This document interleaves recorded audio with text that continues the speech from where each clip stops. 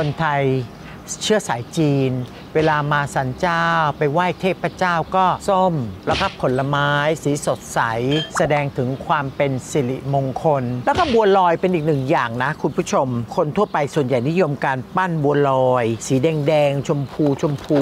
แต่เดี๋ยวนี้ยุคสมัยมันเปลี่ยน สมัยนี้เนี่ยจะให้เราเนี่ยมานั่งนวดแป้งข้าวเหนียว น้ำร้อน แบ่งผสมสี ปั้นบัวรอย โอ้แต่คงจะไม่ไหวนะเดี๋ยวนี้ไปอะซื้อบาวชูการ์นี่คุณดูนี่ถุงเล็กถุงน้อย ไปแบ่งมาจากร้านหวานเย็นก็ได้ ร้านชาไข่มุกก็ได้ คุณผู้ชมขาเพื่อถูกสุขอนามัย เราก็จะต้องใส่นะ เพราะว่าต่อให้ล้างมือแล้วก็เถอะ มะพร้าวอ่อน เสร็จแล้วน้ำตาลก็ไม่ใส่ เพราะว่าเราต้องการที่หวานธรรมชาติ อะไรที่มันแบบหวานพอแล้วก็ไม่ต้องไปเติมไปแต่ง แล้วก็นี่คือกะทิก็ไม่ต้องใส่กะทิเยอะ ใส่แค่พอหอมๆคุณดูสิใต้ตายดูสิน่าทานมากเลย แค่นี้ใส่น้ำแข็งก็อร่อยแล้ว แต่ฉันไม่ได้รับประทานนะคุณเดี๋ยวฉันจะไปไหว้น้ำแข็งนะคะ น้ำแข็งแบบนี้เสร็จแล้วก็ brown sugar นี่เขาซื้อมาเขาก็เป็นแบบนี้เลย ถ้าคุณผู้ชมจะต้องมาต้มเองจะเสียเวลามาก ต้มเสร็จแล้วก็ต้องแช่ในน้ำตาลอีกไม่งั้นมันไม่ไม่หนึบหนับนะคุณผู้ชมแบบนี้ง่าย ใส่แค่นี้พอนะ เสร็จแล้วก็เยลลี่สีสันต่างๆ ที่ลูกๆชอบอะเนี่ยมาสันเจ้าไปถวายพระทำอะไรแบบนี้ก็พอแล้วง่าย ๆ เอาล่ะ เสร็จเรียบร้อย เอาช้อนไปด้วยเดี๋ยวท่านจะไม่มีช้อนแบบนี้ครบบางทีคุณผู้ชมอาจจะอยู่ต่างประเทศ อาจจะอยู่ที่ไหนก็ได้ หรือเวลาทำงานไม่มีเวลา วันนี้อาจารย์ยิ่งศักดิ์จะเป็นตัวแทนของพวกเราทุกๆ คนไปไหว้เจ้าประเดี๋ยวอาจารย์ยิ่งศักดิ์จะไหว้ในนี้ให้ครบตามธรรมเนียม และครั้งต่อๆไป ใครจะมาที่ศาลเจ้าเกียร์อ่านเก่ง ก็จะได้รู้ว่าไหวยังไง ตามอาจารย์ยิ่งศักดิ์มานะ ตอนนี้เนี่ย จะให้พี่ด้วงพาเราเข้าไปแล้วก็สอนเราว่าไหว้ตรงไหนทูบเทียนปักอย่างไร รบกวนพี่ด้วงนะได้ครับโอยิเคนดีเชิญครับค่ะ ครับ องค์ท่านนี้ก็จะเป็นไม้หอมอย่างเช่น ไม้จันทร์นี่แหละนะครับ แกะสลักทั้งองค์ แล้วก็ปิดทองนะครับ ก็เป็นองค์ประธานของเกียรติอันเก่งนี้มาตั้งแต่เริ่มสร้างมาจนปัจจุบันนี้นะครับค่ะก็เราดูแล้วอาจจะแตกต่างจากที่อื่นที่อยู่ในปางที่เป็นหญิงนะครับ แต่อันนี้จะอยู่ใน ในชุดของพระจีเลยนะครับค่ะเป็นองค์ประธานของที่นี่ที่นี่ของครับศาลเจ้าเกียร์อันเก่งใครมีทูบเทียนมาแล้ว ไม่ต้องซื้อที่นี่ก็ได้ทูบถัดมาก็จะเป็นอันนี้จะได้ครบทุกครบเลยแค่นี้ใช่นะคะรับครับเสร็จแล้วเทียนเทียนอาจารย์จะชอบไซส์ไหนนี่ขอเทียนใหญ่ ๆ จะได้สุกสว่างครับก็จะเป็นไซส์นี้ค่ะไซส์นะครับนี้ แล้วก็เติมน้ำมัน แล้วก็สร้อยไข่มุก ถวายเจ้าแม่ไปเลยค่ะ ขอให้คุณผู้ชมทุกท่านที่กำลังชมรายการสุขอย่างยิ่ง มีสุขภาพแข็งแรง มีโชคลาภได้รับพร จากศาลเจ้าแม่กวนอิมทุกๆ คนร่มเย็นเป็นสุขสุขอย่างยิ่งนะครับอาจารย์มีสามดอกเป็นเทพทุกองค์ เรารวมอยู่ทางเดียวกันเทพทุกองค์ในสันเจ้า เทพทุกองค์ในสันเจ้านะคะ รวมกันอยู่ตรงนี้จ้ะ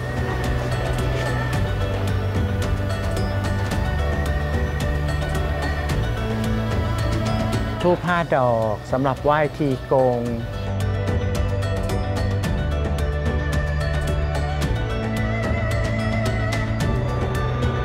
ไหว้พระสัมมาสัมพุทธเจ้า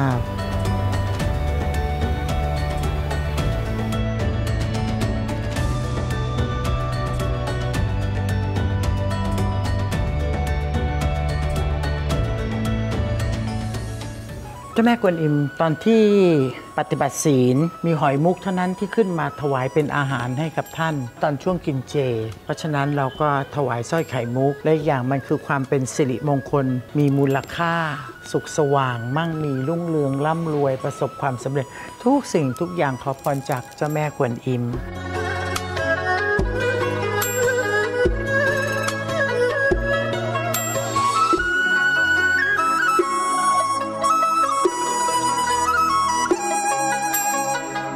ชีวิตของเราก็ต้องมันเติมบุญ เติมกุศล เป็นสัญลักษณ์ของการทำบุญด้วยความเพียรอย่างสม่ำเสมอ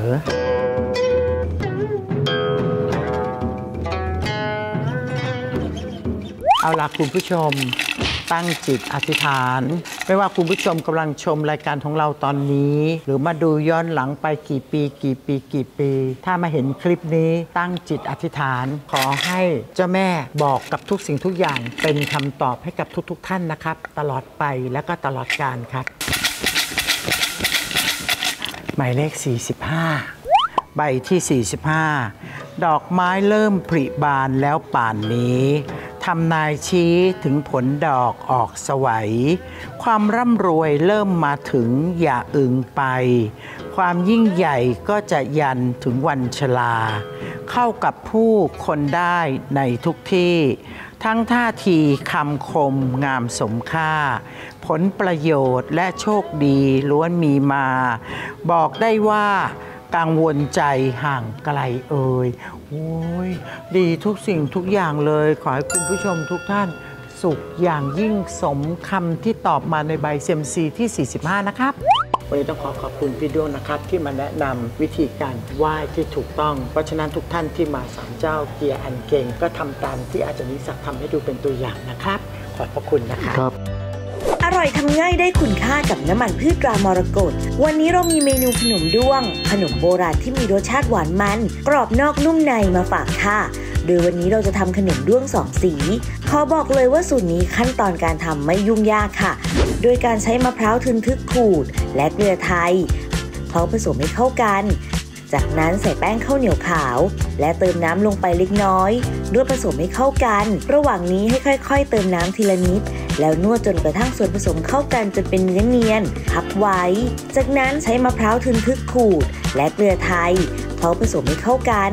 ใส่แป้งข้าวเหนียวขาว และใส่แป้งข้าวเหนียวดำเติมน้ำทีละนิดแล้วนวดจนกระทั่งส่วนผสมเข้ากันจนเป็นเนื้อเนียน จากนั้นปั้นเป็นก้อนทรงรีคล้ายตัวด้วง พักไว้ เทน้ำมันผสมสูตรไลท์ตรามรกตลงในภาชนะนำขึ้นตั้งไฟพอร้อน นำแป้งที่ปั้นก้อนที่เตรียมไว้ลงทอดจนกระทั่งสุกเหลืองกรอบ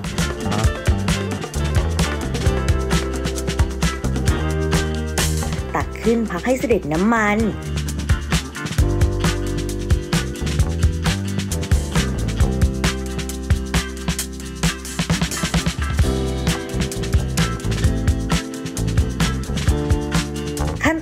ไปให้ใส่น้ำตาลทรายลงในภาชนะ เติมน้ำนำขึ้นตั้งไฟ คนจนกระทั่งส่วนผสมละลายและเดือดข้น ใส่แป้งที่ทอดไว้ลงไปเคล้าให้น้ำตาลเริ่มเกาะจนเคลือบทั่วทั้งชิ้น ปิดไฟตักขึ้น แค่นี้ก็เรียบร้อยแล้วค่ะกับเมนู ขนมด้วงสูตรหวานมัน กรอบนอกนุ่มในจะเสิร์ฟใส่ภาชนะรับประทานคู่กับชาร้อนๆเข้ากันได้ดีเลยเลยค่ะ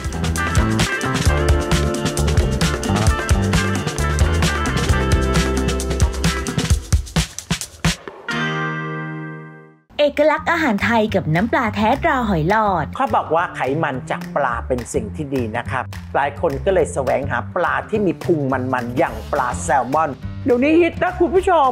ท้องปลาแซลมอน เอามาทอด เอามาทำโน่น เอามาทำนี่ แต่วันนี้อาจารย์ยิ่งศักดิ์แนะนำเมนูท้องปลาแซลมอนแดดเดียวทำไม่ยาก อร่อยนะ ไปชมสิครับ ท้องปลาแซลมอนแดดเดียว เริ่มจากการหมักท้องปลาแซลมอนกับข่าสับละเอียด ตะไคร้สับละเอียด และใบมะกรูดสับ คลุกเคล้าให้เข้ากัน จากนั้นปรุงรสด้วยน้ำตาลปี๊บและน้ำปลาราหอยหลอดรสดั้งเดิม ผสมให้เข้ากัน จัดเรียงท้องปลาแซลมอนที่หมักไว้บนตะแกรง นำไปตากแดดจัดประมาณ 3 ชั่วโมง จากนั้นนำท้องปลาแซลมอนแดดเดียวลงทอดในน้ำมันพืชที่อุ่นไว้ ตักขึ้นพักให้สะเด็ดน้ำมัน จัดท้องปลาแซลมอนแดดเดียวทอดลงบนซอสพริก ตรารวมรสที่เตรียมไว้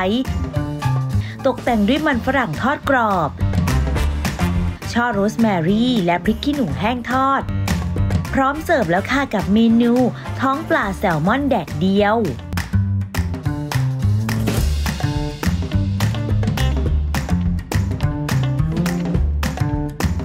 องปลาแซลมอนแดดเดียวเนี่ยต้องมีวิธีการทอดที่ดีนะคุณ ทอดให้หนังมันกรอบสีเหลืองอ่อนๆ มันจะมีความกรอบข้างนอกแล้วน้ำมันข้างในท้องปลาเนี่ยชุ่มฉ่ำอุดมไปด้วยโอเมก้า3ดีต่อสุขภาพนะครับ หามารับประทานกันบ่อยๆนะ แต่ที่สำคัญปลาเนี่ยมันมีกลิ่นคาวอยู่แล้ว ถ้าเลือกใช้น้ำปลาไม่ดีพังนะแนะนำให้ใช้น้ำปลาแท้ตราหอยหลอดนะครับ รับรองตำรับนี้จะต้องถูกใจคนทั้งบ้านครับ ทำขนมไหว้ที่ศาลเจ้าเกียนอันเก่ง บัวลอยมะพร้าวอ่อนสาคูบราวชูการ์คุณผู้ชมครับ วันนี้อาจารย์ยิ่งศักดิ์มีเคล็ดลับดีๆ ในการทำให้ฟรุตเค้กของเรามีความชุ่มฉ่ำมาฝากคุณผู้ชมนะครับ